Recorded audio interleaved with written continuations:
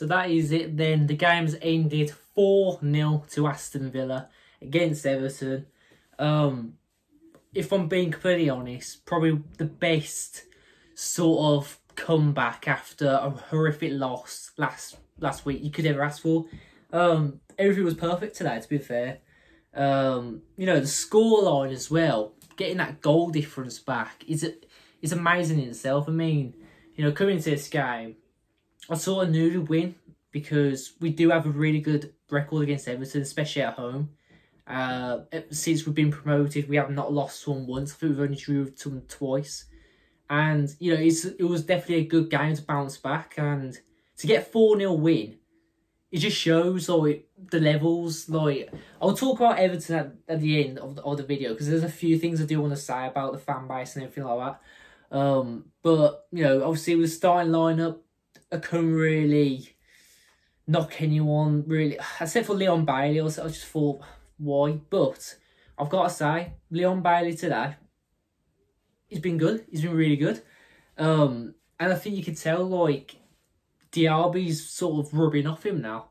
Um, and I know the goal he scored, it was just a complete horrific decision from one of their defenders. Don't know what the hell was going on, but it was just really nice to see him get the goal.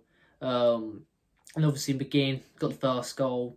Absolutely beautiful. He captained scoring all that. It's just everything was just right today. Like from the first second, everything was just done right. And it's just nice. It's nice that we can move on from what happened last week. Obviously losing Mings and Buendia. We've got the players still, but um, you know, there's, a long road to go ahead, and it's really good that we can get a score on all that today, especially when we go into Europe next week. Um, and yeah, it's just I'm just really happy with all the performances. I just wanted to say a few things about some players. Obviously, Lucas Digne, he's just been linked to Nice as of this morning, I believe. He had a really bloody good game. I mean, some of his his crossings, it's just been outstanding today. And it's really nice to see. I mean, coming in the game, you can see he was clearly knackered, but some some of his players today was really, really good. Um, John McGinn, he definitely get man of the match for me. Just beautiful in that midfield, driving the ball forward, direct football, beautiful. And uh, yeah, Leon Bailey, he, he has to get a mention because he, he's one of them. Like he will play that one good game once in a blue moon, but I think this is the start of something now. There's something going. I mean, Emery, we know he's a tactical magician, and he wouldn't be playing him for no reason. He's seen something in training. He's seen obviously he's the manager and everything and, you know, in Emery we trust, don't we? So hopefully this is the start of some good form for Leon Bailey because I would absolutely love him to, to smash it in the Prem, smash it in Europe with us. Um, but yeah, he's just got to put the work in to be fair. Um, but yeah, man of match for me had to be McGinn. Um, and also Jhon Duran getting his goal coming the end of the game. I think he was only on for five minutes, got his goal, so happy for him. Um, and yeah, he was only like 22 years old.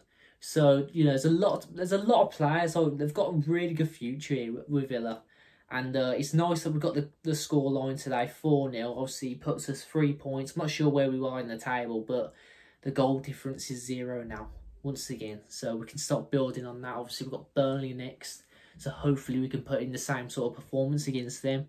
Um, despite obviously having to sort of change the defence and everything up Obviously, it's the same formation. We just had to put Paul Torres instead of Mings. And talking about Paul Torres, didn't do anything wrong, to be fair. I mean, I can't say he had a lively game. I don't think...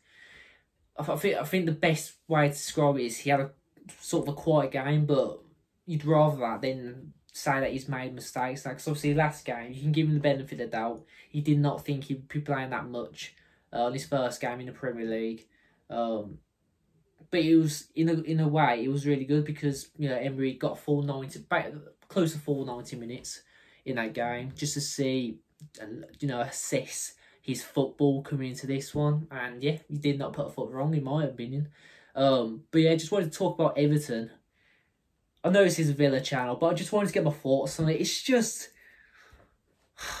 it's just shit, isn't it? It's just shit for him. It's like there's not anyone, there's nothing going forward. I mean, the first thing I do have to say, Calvert Lewin, that was his own mistake today.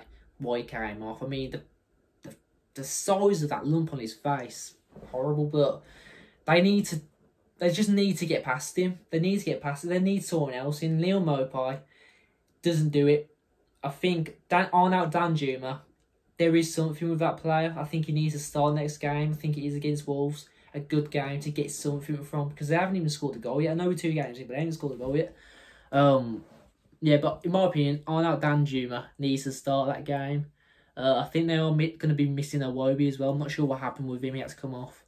It's just not looking good for him. I mean, last season, season prior, he just wasn't looking good for him. I know they, I do believe they'll stay up, but I don't know. It's just you know watching their fans today. You know they were very lively in the first ten minutes, but coming the end of the game, obviously the camera pans to them.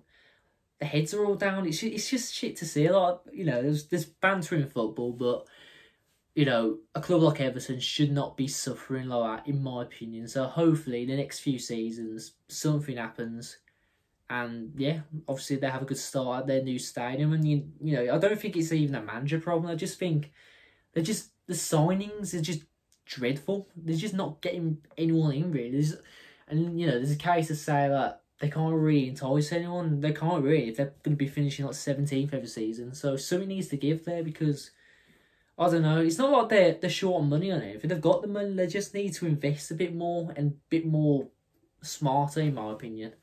But yeah, that is all I can say about Everton. I do believe you stay up, whether it is the skin of your teeth again. But it's just a shit situation to be in. But yeah, obviously my man of the match, as I said once once again, it had to be McGinn. He's just absolutely beautiful today.